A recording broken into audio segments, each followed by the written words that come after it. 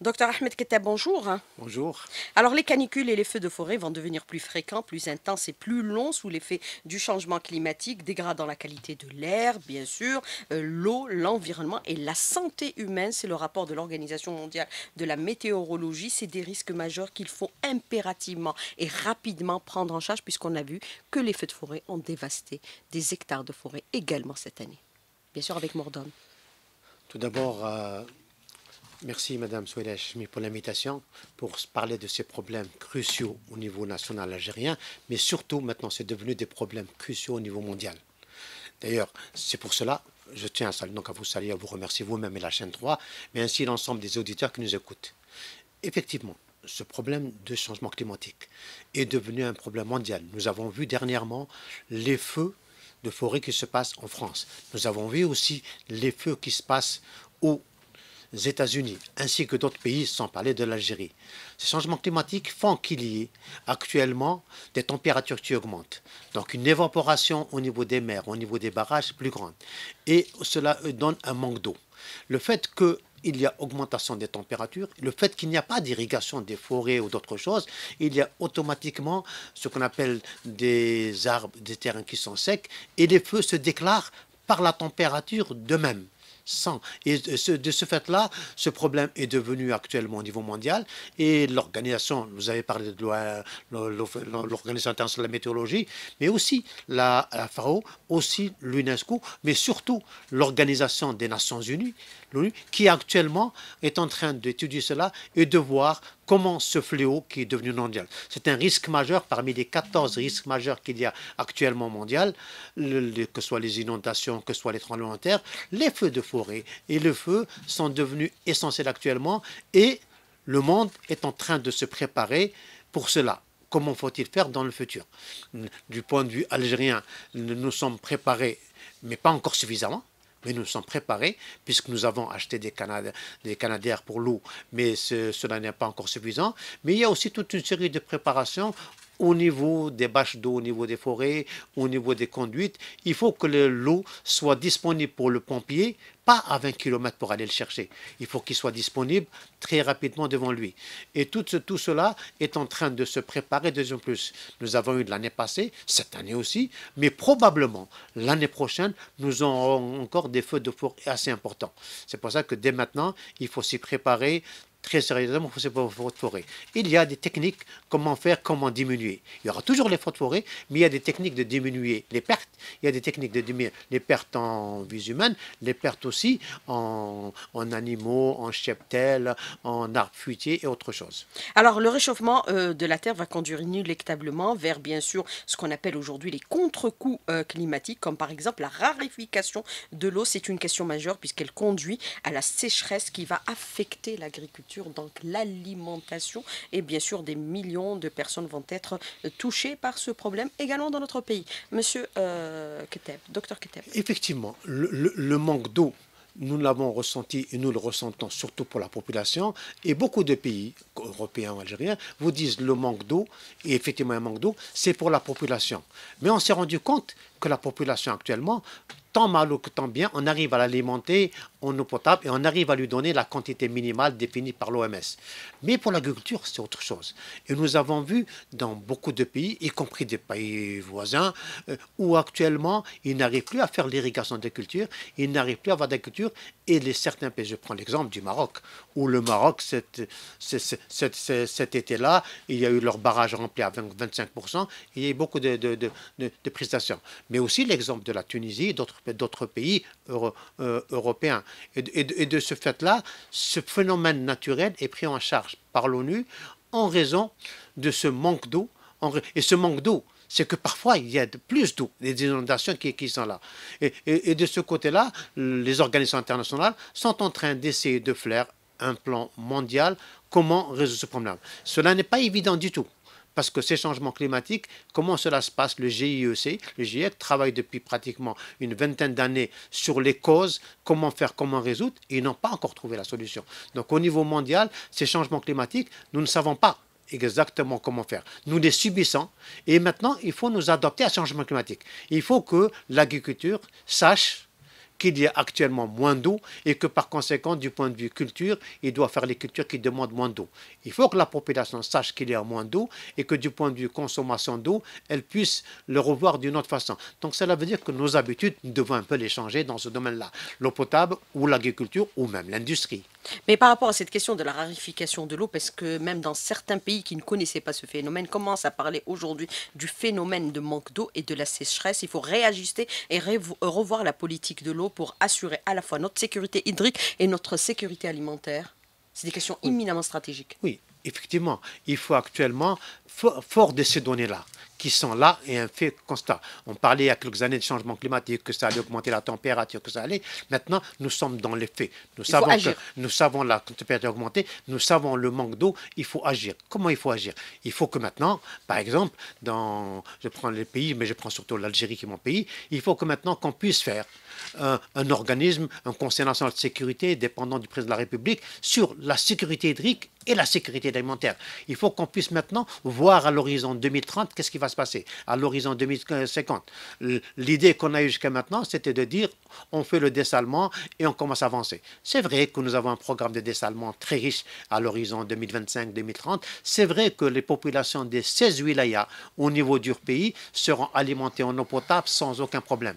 Mais la question ne se pose plus pour l'alimentation de la population potable, la question se pose maintenant pour l'agriculture. Où trouver l'eau pour faire l'irrigation Où trouver l'eau pour faire tourner les industries? Et c'est là le problème qui est posé. Et c'est là que maintenant, on devrait revoir toutes nos positions vis-à-vis de l'agriculture, toutes nos positions vis-à-vis de l'irrigation et refaire une autre formulation, soit par les techniques d'irrigation, soit par les cultures qui ne demandent pas d'eau, soit pour toutes ces techniques. Et pour ça, il faut qu'il y ait des gens spécialistes sur le sujet qui puissent travailler comment revoir notre agriculture à travers les assolements, à travers les rotations, à travers des techniques d'irrigation consommant très peu d'eau. Le goutte à goutte Il y a mieux que le goutte à goutte. Le goutte à goutte permet d'économiser presque dix fois moins, mais il y a ce qu'on appelle le goutte à goutte localisé, où vous ramenez la goutte d'eau jusqu'à la racine, et quand elle arrive au niveau de la racine, c'est quand la plante demande l'eau, qu'il y a un système électronique qui lui donne de l'eau. Donc on peut encore économiser beaucoup plus.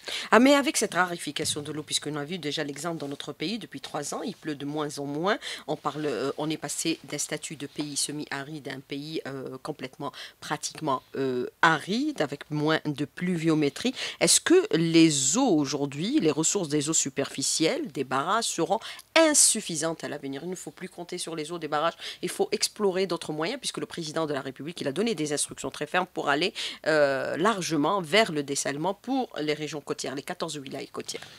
Effectivement, depuis 1962, nous avons tablé sur les barrages. Nous avons construit, construit des barrages et nous avons actuellement de, de l'ordre de 80 barrages et prochainement on aura 85 barrages. Ces 85 barrages vont contenir 10 milliards de mètres cubes. Toute l'eau de pluie qui tombera ira dans les barrages 10 milliards. Malheureusement, ces trois dernières années, ces barrages n'arrivent même pas à se remplir au tiers. Donc nous avons investi, nous avons les capacités, mais ces barrages ne se remplissent pas. Et s'il n'y a pas d'autres barrages, l'agriculture ne peut pas se développer parce qu'il n'y a pas d'eau. Et donc cette politique sur les barrages, les barrages sont là. On peut continuer, on est obligé de continuer avec eux en espérant que Allah nous aurons dans les prochaines années de la pluie. Mais il faut supposer aussi l'hypothèse zéro qu'il y aura zéro pluie. Si on n'a pas de pluie, s'il y a zéro, que doit-on faire? Que doit-on faire? Et à ce moment-là, il faut regarder qu'est-ce qu'on faire. Le président de la République, Abdelmajid a, a, pris une excellente initiative en parlant du dessalement de mer et sont en train de partir. Mais le dessalement de mer, c'est bien. C'est pour la population qui aura de l'eau, qui aura de l'eau potable et on n'aura pas soif. Mais pour l'agriculture, pour l'industrie, il n'est pas question pour le moment d'irriguer avec l'eau dessalée. L'irrigation, il faut trouver d'autres types d'eau. Et si on n'arrive pas à trouver ces d'autres types d'eau, d'autres types de techniques pour irriguer, nous aurons de plus en plus des problèmes d'alimentation et de sécurité alimentaire. Et là, il y a toute une série de choses à faire et je prends un exemple. Euh, vous savez que l'eau qu'on consomme, l'eau potable de l'eau de mer qu'on consomme, on la consomme, on la rejette à 80%. Cette eau qui est rejetée euh, doit être traitée et réutilisée, ce qu'on appelle les eaux usées traitées. Malheureusement, sur les eaux consommées, les eaux usées traitées, nous réutilisons à peine 5% pour l'irrigation ou pour autre chose. Mais il faudrait arriver à effectivement traiter toutes les eaux usées et surtout les réutiliser. Quand je dis les réutiliser, ça peut être pour l'industrie avec le refroidissement, ça peut être pour l'irrigation, ça peut être pour les lavages de rue. Il y a toute une série de réutilisations des eaux. Ça peut même être stocké, faire des barrages pour stocker ces eaux usées, pour les laisser pour les saisons d'été. Alors j'allais vous poser la question, s'il y a zéro pluie, et que faut-il Est-ce qu'il faut généraliser les eaux usées? Est-ce qu'il faut mettre en place une véritable politique pour booster justement la réutilisation des eaux usées, aussi bien euh, pour le domestique que pour euh, l'irrigation, euh, docteur Il faut le mettre en place, notamment par exemple des cycles combinés au niveau des habitations, de telle sorte à recycler l'eau. Ça commence à se mettre en place dans certains pays où on parle réellement de cette problématique avec beaucoup de rigueur? On l'a vu, les débats au niveau de la France de la Grande-Bretagne, qui ne connaissaient pas du tout le problème de manque d'eau et de sécheresse. On le voit aussi aux États-Unis, où il y a aujourd'hui une politique euh, de rationnement de la consommation de l'eau, notamment pour les gros consommateurs, si on prend l'exemple par exemple de la Californie. Il faut commencer à le faire. Effectivement. Vous savez qu'actuellement, au niveau mondial, je vais prendre un exemple Singapour, les eaux usées sont traitées ils reviennent au robinet et sont consommés comme potable. Il y a même certains pays africains qui le font. Cela veut dire quoi? En Arabie Saoudite, on vit avec l'eau de dessalement et l'eau recyclée. Cela veut dire que les eaux usées on peut les traiter et les reconsommer. Mais on ne va pas arriver jusqu'à là. On va dire. Les consommer dans l'agriculture et On va dire les eaux usées ne doivent pas être rejetées à la main. Ils doivent être traités à 100% et réutilisés à 100%, quel que soit l'endroit. Ça, c'est la première chose qu'on devrait faire. Donc, les eaux usées maintenant, ça devient une priorité de faire les stations d'épuration, de les traiter à 100% et de les réutiliser, quelle que soit leur réutilisation. Ça, c'est une première priorité. Mais ça, c'est pour l'irrigation. Mais il faut aussi dire, là où il y a beaucoup d'eau. On peut faire certaines, euh, certaines plantes, certaines euh, cultures. Mais non, il n'y a pas d'eau. Il n'est pas question d'aller utiliser des, euh, des, cultures de tomates ou de pastèques qui demandent beaucoup d'eau. On a besoin de tomates et de pastèques. Oui, mais, mais, dans les endroits où il y a de l'eau. Dans les endroits où il y a de l'eau. Ça, ça, les eaux usées. Deuxièmement, les eaux souterraines. Nous avons aussi des eaux souterraines, que ce soit celles du nord ou celles du sud. Et ces eaux il faut aussi les utiliser de façon euh, juste euh, pour l'irrigation. Et ça, actuellement, si les eaux du nord, souterrains du nord, sont exploitées à 100% pour ne pas dire plus, les eaux du Sud ne sont pas du tout exploitées actuellement. On parle de l'agriculture saharienne qui commence à se mettre en place dans certaines localités, et, qui donne de très bons résultats, Biskra, et nous, avons la, et nous avons la possibilité de transférer ces eaux usées. Parce que quand je parle de transfert, je parle d'un transfert nord-nord d'un barrage vers un autre. Et vous savez qu'actuellement, l'Est, les barrages sont tout le temps pleins. L'Ouest, les barrages sont tout le Il temps Il faut envisager ces transferts aujourd'hui. Il faut envisager ces transferts-là. Et vous savez, transférer l'eau de Bnei qui contient 901 milliards de mètres cubes, vers on va dire vers Alger, et cela est très possible. Par on a réussi le transfert du sud. Oui, c'est 800 km. Et Alger-Mila, c'est 400 km. Donc on peut transférer par conduite. Et nous avons, alhamdoulilah, considère et les entreprises algériennes qui font la tuyauterie, qui font l'ingénierie, qui font, qui font tout le travail. Mais nous pouvons aussi transférer l'eau de Bni vers Alger par bateau. Il fut un temps, dans les années 2000, euh, on allait transférer, acheter de l'eau par bateau de Marseille. maintenant, on ne peut pas acheter, aller prendre des bateaux et aller vers Bnéharan et ramener l'eau vers Alger et le mettre dans la, conduite. Cette, possibilité existe. Donc, Mais il y a, le dessalement, c'est plus facile. Donc, toutes ces techniques-là, il faut maintenant, il ne faut pas dire tel que c'est cher, c'est pas ça, c'est pas ça. Il faut étudier, faire un dossier et dire voici qu'est-ce que ça revient économiquement. Et à ce moment-là, la décision est prise ou pas. Mais jusqu'à maintenant, ces études ne sont pas faites et on ne sait pas si c'est cher ou pas cher. Et on dit le dessalement c'est cher. On a souvent dit que le dessalement c'est cher. Maintenant, on va au dessalement, c'est pas du tout cher. Le transfert, on dit c'est cher. Mais dans quelques années, on fera le transfert et on ramènera l'eau du sud jusqu'à Djelfa, jusqu'au plateau pour cela. Alors, euh, docteur Ahmed Ketem, je voudrais revenir avec vous pour cette deuxième partie de l'invité de la rédaction sur plusieurs questions, puisque c'est une question éminemment stratégique qui est en débat actuellement au niveau de notre pays, au niveau international, et on a vu les ravages qui ont été provoqués par la sécheresse en raison, bien sûr, du manque euh, de pluie. Bien sûr, ça a provoqué euh, d'immenses feux de forêt qui ont aussi occasionné mort d'hommes, même dans notre pays, malheureusement. bien sûr, paix à leur âme. Alors, les eaux, vous avez parlé un peu de la nécessité également d'exploiter les eaux souterraines par exemple l'Albien, au niveau du sud du pays, il faut consommer avec raison, puisque beaucoup d'experts vous disent aujourd'hui que c'est de l'eau non renouvelable. Il faut une stratégie. Effectivement, il faut une stratégie, mais effectivement, beaucoup d'experts qui ne connaissent pas trop le sujet vous disent que cette eau est non renouvelable. Or, cette eau-là est renouvelable. Il y a des études qui ont été faites. Mais sur elle, le long, elle est renouvelable, terme. mais sur le long terme, on va dire qu'elle se renouvelle en un chiffre comme ça de, de 1%. Mais ce que les gens ne vous disent pas, c'est que dans l'Albien, nous avons 45 000 à 50 000 milliards de mètres cubes. Cette quantité d'eau est 5 000 ans énorme. pour 5 000 ans. Euh, On a pour 5000 ans. Si on a pour 5000 ans, vous imaginez 5000 ans, nous pouvons consommer, prendre de l'eau de cet albien et la transférer vers les eaux plateaux, la transférer vers Djelfa, vers ces eaux plateaux, pour développer l'agriculture.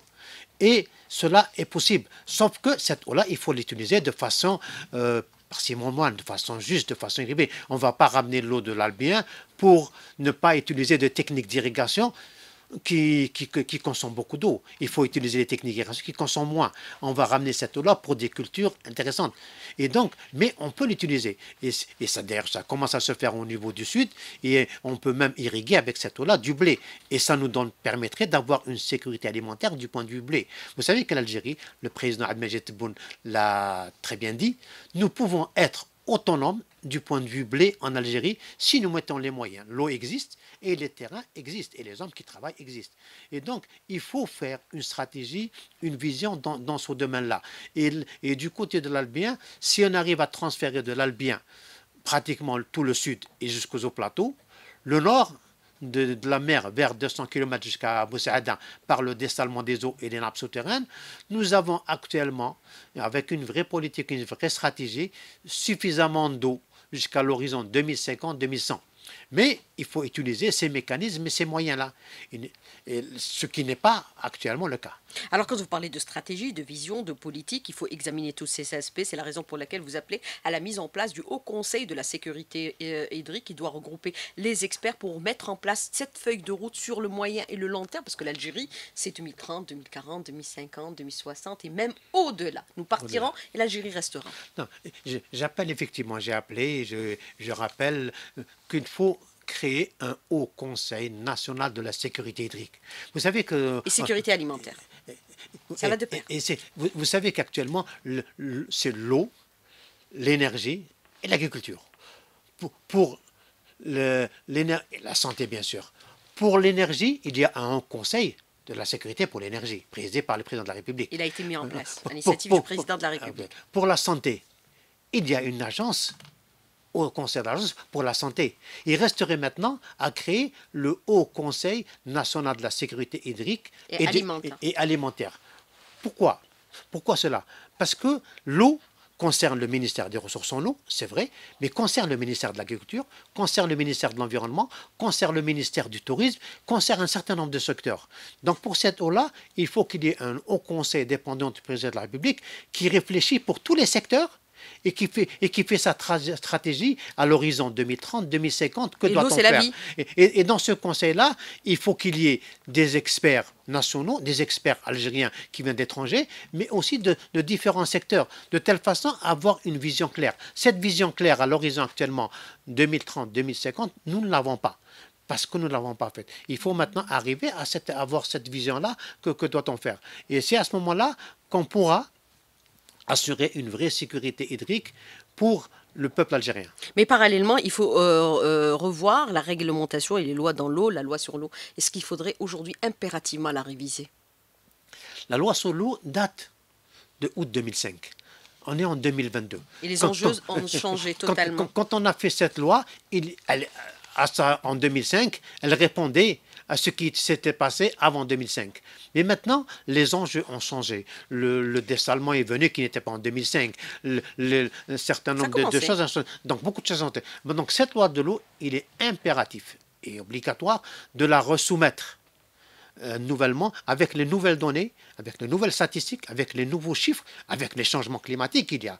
Et, et venir la soumettre au euh, la chefferie du gouvernement, au président de la République et à la PN, le peuple élu qui, sera là pour la voter, et au niveau du Sénat, de telle façon que ce soit une loi du, du peuple algérien avec un consensus. Et si dans cette loi-là, on veut par exemple, un exemple, introduire la tarification, ça a été un consensus national sur la tarification. Si on veut introduire euh, un certain nombre de sujets nouveaux, on les introduira par la loi avec un débat. Et le peuple algérien est en train de suivre les différentes lois, les différents dossiers qui se passent. Et là, il aura l'occasion de donner son avis à travers la télévision, à travers les radios, à travers les associations, à travers un tas de choses, on peut donner ses avis-là. Mais sur cette loi, sur le que faut-il impérativement changer pour l'adapter au contexte actuel? Euh, Docteur Keta, puisque vous connaissez parfaitement cette loi, on a parlé même dans la loi, la possibilité d'aller vers la police de l'eau qui n'a jamais été activée réellement. Non sur cette loi-là, ce qu'il faut changer. D'abord, il y a l'organisation du ministère des Ressources en eau, qui actuellement du point de vue organisation, n'y est pas. Deux, les missions des entreprises nationales de l'eau, les grandes entreprises, l'Algérienne des eaux, euh, je vous donne un exemple. Je ne vois pas pourquoi l'Algérienne des eaux donne que l'eau potable, l'Office national de l'assainissement fait de l'assainissement, alors que pour moi, c'est une seule entreprise qui fait l'eau et l'assainissement, comme dans tous les pays du monde, y compris Alger, puisque c'est la CIAL qui fait l'eau et l'assainissement. Dans cette loi-là, il faut aussi ce qu'on appellerait le numériser, informatiser le ministère. Ce n'est pas actuellement numérisé, informatisé. Dans cette loi-là, il y a ce que j'appellerais l'information de la sanction de la commission qui n'est pas faite actuellement ou pas suffisamment là. Dans cette loi-là, il y a les agences de bassin hydrographiques qui fonctionnaient et qui fonctionnent. Et là, dans les agences de bassin, il faut revoir un certain nombre de choses. Dans, dans cette loi-là, il est temps maintenant de parler de tarification. La tarification, de façon, on en parle, on l'explique et on fait une tarification euh, euh, progressive, de telle façon que le citoyen smigard, le citoyen qui a un faible revenu, moi je proposerais qu'une quantité d'eau, elle est gratuite, comme le font les Belges, comme le font beaucoup de pays. Mais elle existe actuellement Non, elle n'existe pas actuellement. la tarification, c'est entre 0 et 25 mètres cubes, il y a un tarif très bas moi, dans, une première tranche, je, tombe, je dirais gratuite, de telle façon que le citoyen, quand il voit la première tranche qui était gratuite, il essaie de ne pas consommer, de ne pas gaspiller et d'aller vers cette tranche gratuite. Bien entendu, celui qui consomme dix fois cette tranche-là, il, il, paiera beaucoup plus. Les gros consommateurs, l'industrie, augmenter la tarification graduellement Ce, ce tarif-là, si je prends de l'agriculture, l'agriculture a un tarif de l'eau très bas. L'industrie a un tarif très bas. Il faut là aussi aller de façon très fort vers l'industrie de l'agriculture pour consommer. De telle façon que l'agriculture, quand il saura qu'il paye l'eau à un juste prix, il consommera moins. Vous savez qu'actuellement, les agriculteurs, beaucoup ne vont pas vers les techniques d'irrigation économe parce que l'eau n'est pas chère. Le jour où l'eau aura son juste prix, cela se fera. Et donc, ce côté tarification a été jusqu'à maintenant tabou depuis maintenant une vingtaine d'années. Maintenant, il faut le mettre sur la table, le discuter de telle façon que tout le monde soit gagnant-gagnant. L'agriculture gagne, le consommateur gagne, mais l'entreprise qui distribue l'eau gagne. Et ça, ça peut se faire. Il y a des modèles, des équations qui peuvent se faire. Ce n'est pas fait. Il faut, c'est-à-dire, aborder cette question en toute sérénité, sans tabou, de telle sorte à associer également toute euh, la société civile, les citoyens, sur l'impératif à la fois d'augmenter cette tarification pour les consommateurs, bien sûr, euh, sans porter atteinte aux petits consommateurs. Il faut l'aborder quand même en toute sérénité, monsieur euh, docteur Ket. Il, faut y aller. Il, faut y aller, il faut l'engager et, expliquer aux gens. J'avais proposé ça fait plus d'un an, une idée en leur disant, écoutez, reprenez la facture d'eau que le citoyen reçoit. Mettez en vert ce qu'il paye, les 400, 500 000 dinars, et mettez en rouge ce qu'il devrait payer, c'est dix fois plus. Et la vraie valeur de la, Le citoyen, le fait qu'il voit ce qu'il devrait payer du mètre cube et ce qu'il est en train de payer dix fois moins, lui-même se sensibilisera et dira j'économise. Quand je prends par exemple, on va, je prends les lavages de voiture. Alger, il y a 800 ou 900 lavages de voiture. Vous savez que le lavage de voiture, il consomme beaucoup d'eau, mais il paye l'eau comme le citoyen de la consommation de la maison. Mais est-ce qu'il faudrait trouver de l'alternative pour ces lavages que l'eau potable aujourd'hui, qui est devenue extrêmement précieuse? Aller par exemple vers l'eau de mer pour le lavage des véhicules Non, pour le lavage, il faut aller vers l'eau. Mais, mais, moi, j'ai. Vous lavez avec la vapeur Mais, mais, j'ai proposé autre chose. Il y a actuellement des systèmes de lavage de voitures sans avec eau. de la vapeur Sans eau, avec la vapeur. Voilà. Mais même quand, je prends les eaux usées, vous savez que les eaux usées, on peut les traiter de façon tertiaire et ces eaux usées sont stockées, ensuite stockées, et les gens qui font des lavages vont ramener par des citernes ces eaux et les réutiliser qui sont moins chères et réutiliser pour le lavage. C'est pour ça que je disais les eaux usées traitées c'est l'irrigation, c'est l'industrie, ça peut être aussi pour le lavage des voitures. Et de la route aussi. De, la route. Donc il y a beaucoup de mesures qui peuvent, mais il faut attaquer ce, ce dossier de façon euh, saine, sereine, et dire voici la réalité. Si on veut évoluer, si on veut avancer, si on ne veut pas avoir beaucoup de problèmes à, l'horizon 2030-2050, voici les mesures qu'on doit prendre et sensibiliser et mettre le citoyen en accord avec cela. Et les citoyens algériens comprennent maintenant. Il lit beaucoup, il voit beaucoup et il adhérera à cela. Alors, est-ce qu'il faudrait aussi envisager par rapport aux, transferts, les grands transferts, c'est de remplir les, les barrages avec l'eau de mer, l'eau de dessalement? Est-il possible aujourd'hui, euh, docteur Keteb, si, si bien sûr la situation se compliquait davantage et s'il ne pleuvait pas encore une fois cet hiver, par exemple de euh, vers Constantine Un exemple. Hein. À l'étape actuelle, je dirais non. Je vais expliquer pourquoi non. Parce que les barrages qu'on a actuellement, un des problèmes qu'on a au niveau des barrages, c'est les envasements, c'est les terres, c'est tout ça. Et donc, il n'est pas les traiter. Et donc, il n'est pas quand ils sont vides qu'on peut les traiter. Pour l'étape actuelle, il n'est pas question de remplir les barrages avec des salements. Par contre, ce qu'on pourrait faire, on pourrait construire des châteaux d'eau, des grands châteaux d'eau qui ne reviennent pas cher, c'est du génie civil et stocker l'eau dessalée directement au niveau de ces châteaux d'eau. De telle façon, on améliore la sécurité. Au lieu d'avoir de l'eau que pour 4 heures, 6 heures ou 24 heures, on aura l'eau pour 2 ou 3 jours. Regardez les exemples de l'Aïd. L'Aïd, on stocke l'eau à, 10 heures du matin, à 11 heures, il y a plus d'eau. Donc on pourrait augmenter les réserves de stockage. Si je prends le blé, le blé, on stocke du blé en Algérie et on a 6 à 9 mois d'autonomie de blé. Pour l'eau, on ne devrait pas avoir que 4 on ou 5 heures. Encore on, le nombre de on, devrait augmenter ce truc. Et donc à ce moment-là, le, dessalement de l'eau, quand on dessale l'eau, on peut stocker ces eaux-là pour les réutiliser. Est-ce qu'il faudrait aller vers la verbalisation des personnes qui gaspillent l'eau aujourd'hui? Parce qu'on gaspille énormément et inciter par exemple les citoyens à installer les robinets intelligents oui, on devrait aller. On devrait aller vers la, verbalisation des gens qui gaspillent l'eau. On parlait de la police de l'eau dans la loi sur l'eau qui n'a jamais été activée. Et, quand je dis verbaliser, d'abord verbaliser les entreprises qui actuellement, quand vous voyez au niveau de certaines rues d'Akhaz, de l'eau qui coule. Ça, c'est pas le citoyen, c'est l'entreprise. Il la verbaliser, cette entreprise-là. Le citoyen aussi, quand il, il a des fuites et il consomme, il aussi, aussi le verbaliser. Mais il vous faut avez des entreprises qui lavent, par exemple, les vitres avec de l'eau potable? Un tuyau et, l'eau potable pour leurs employés. Et, donc, on l'a vu. Hein. parce que le prix de l'eau n'est pas cher. Il faut pour ces entreprises pour l'industrie leur appliquer un Toutes prix. Toutes les entreprises, hein, même si elles ne sont pas industrielles. Maintenant, la police de eau, maintenant, depuis 2005 dans la loi est maintenant il Elle est, temps. Pas effective, il est temps de la, dans la nouvelle loi remettre cette police de l'eau. D'abord, ça permettra de créer de l'emploi. Deuxièmement, ça permettra d'économiser de l'eau. Et ça, et ça permettra beaucoup de choses. Donc cette police de l'eau, mais il ne faudrait pas mettre, quand, j'appelle police de l'eau, je préfère changer le mot police et l'appeler autrement. Ce n'est pas une police qui est là pour sanctionner les gens. Moi, je la verrais comme une police qui est là pour sensibiliser les gens, pour les informer, pour d'abord sensibiliser, informer, ensuite sanctionner. Et verbaliser. Et verbaliser ensuite. Mais c'est d'abord. Cela se fait pour, par exemple, le non-port de la ceinture de sécurité. Alors, je voudrais revenir avec vous sur cette question de l'auditeur qui vous dit aujourd'hui, par rapport au coût de réalisation, aussi bien des barrages que des stations, n'est-il pas souhaitable d'installer des stations de dessalement à proximité des barrages pour acheminer moins cher l'eau, puisque le réseau existe? Avec le barrage, le réseau existe. Il a été réalisé. Alors, c'est une question très intelligente et forte. Moi, j'y ai pensé une fois et je disais, on pense tous à créer une station de dessalement au bord de la mer à 10 mètres, mais il n'y a pas de terrain, on ne peut pas en créer. Or, on peut créer une station de dessalement à 50, km, à 50 km et prendre un tuyau de la mer jusqu'à 50 km, dessaler l'eau, ensuite la réinjecter dans le circuit. C'est pour ça que je me dis, quand je prends Alger, le, système d'alimentation d'Alger qui vient de Tizi Ouzou, vers Alger, il est possible d'installer une station de dessalement à 40 km de, de, la plage et traiter l'eau et le réinjecter dans le circuit sans faire un nouveau circuit actuellement.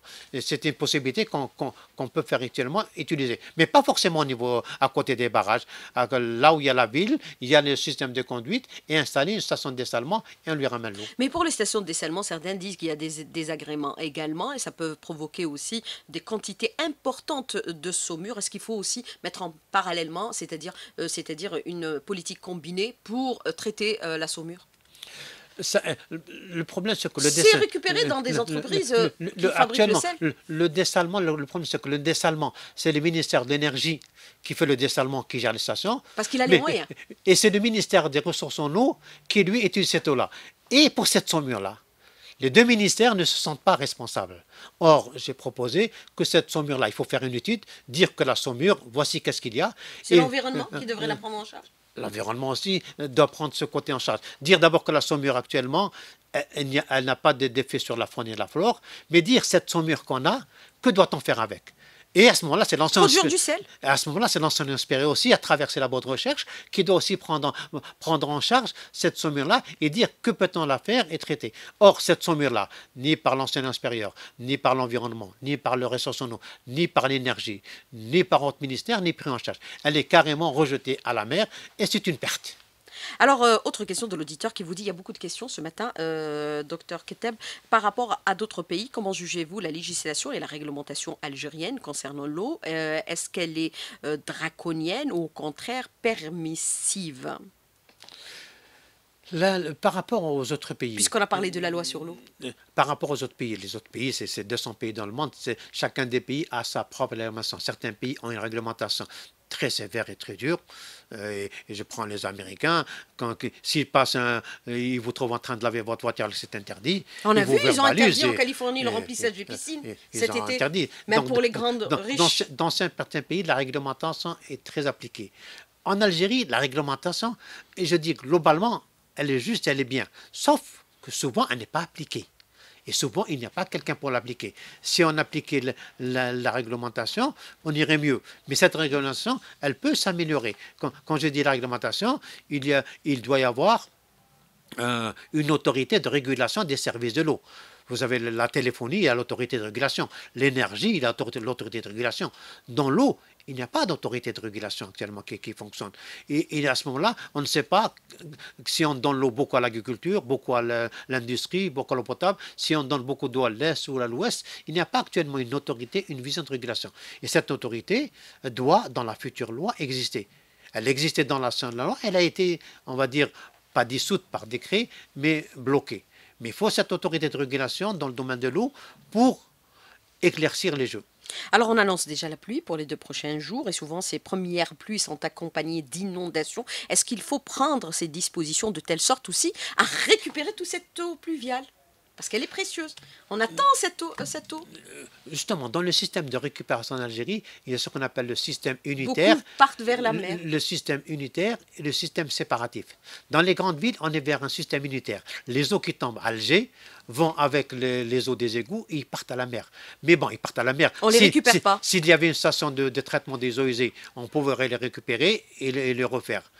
Et donc, mais ces, pluies-là, on sait qu'elles vont arriver. Moi, ce, que, ce qui me désole souvent, c'est qu'on sait ces arriver. Mais les premières pluies provoquent souvent des inondations. Il faut que les services communaux ou les pompiers, les gens chargés du dossier, ne laisse pas cette pluie-là et aille déboucher tout ce qui est égout pour qu'on puisse ne pas être bloqué du point de vue de, la route. Mais est-ce que, euh, par exemple, pour les habitations, il va falloir mettre en place des mécanismes de récupération de ces eaux pluviales? J'ai vu beaucoup de pays tels que la Syrie, la Grèce, où les eaux de, pluie sont récupérées au niveau des maisons et, réutilisées. Moi, j'ai proposé euh, plusieurs fois en disant, quand on délivre un permis de construire, à une ville, à une maison, il faut qu'il y ait un système de récupération des eaux de pluie obligatoire. Installation de bâches d'eau. Et quand on construit aussi des bâtiments avec l'ADL, on installe aussi un système de récupération des eaux de pluie dans une bâche d'eau pour resservir à l'irrigation du niveau des fleurs et des plantes. Malheureusement, au niveau des ADL, il y a une bâche d'eau qui récupère les eaux, mais ils n'utilisent pas, mais ils la remplissent par les eaux potables et au niveau des constructions, euh, le permis de construire n'est pas obligatoire de faire euh, une récupération des eaux. Alors, euh, attend aujourd'hui, autre question de l'auditeur qui vous dit, attend des chiffres sur le volume des précipitations annuelles qui finissent à la mer, beaucoup de barrages, alors sans, on attend de cette eau? voilà, le niveau des précipitations annuelles qui finissent à la mer. Est-ce qu'il y a des chiffres aujourd'hui de telle sorte? Est-ce qu'on puisse avoir des indicateurs réels?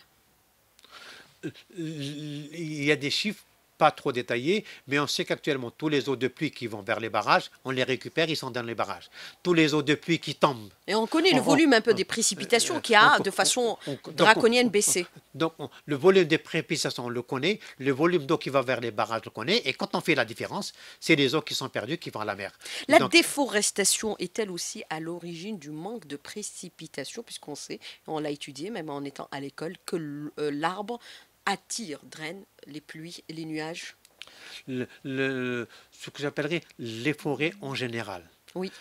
et nos forêts ne représentent dans notre pays, pour que les auditeurs puissent le savoir, c'est une ressource extrêmement importante que 0,4% de tout le territoire national, parce qu'on est aussi à 80% un pays désertique. C'est le, désert. Les forêts, globalement, apportent un microclimat et favorisent euh, des prises pour beaucoup de choses. Mais et ça, ça il pleut beaucoup dans les pays où il y a de grandes forêts. L'Algérie l'a compris, et c'est pour ça qu'à travers le, le, barrage vert, qui est en train d'avancer petit à petit. Il faut le relancer impérativement. On arrive actuellement, je crois, à faire des, 10 millions pratiquement d'arbres. Il faut maintenant faire un grand effort pour le, pour, le barrage vert, de telle façon replanter tous les eaux plateaux en forêt. Et on aura besoin, on aura pour ces forêts pour l'eau, pour le microclimat, et aussi du point de vue économique pour les arbres, pour construire des, meubles ou faire autre chose.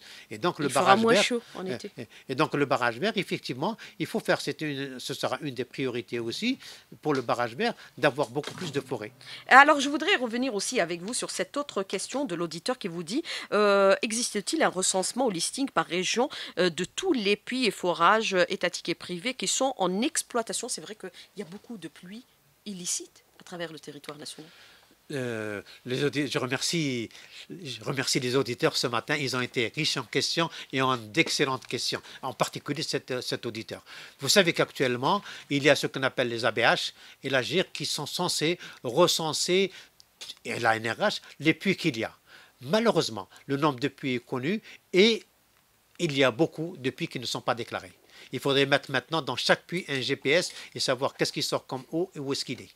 Docteur Ahmed Ketem, merci d'avoir répondu à nos questions et d'avoir été en direct avec nous ce matin dans le studio. Merci beaucoup, bonne journée. C'est moi qui vous remercie et merci beaucoup à vous et à toute l'équipe de la chaîne 3. Merci.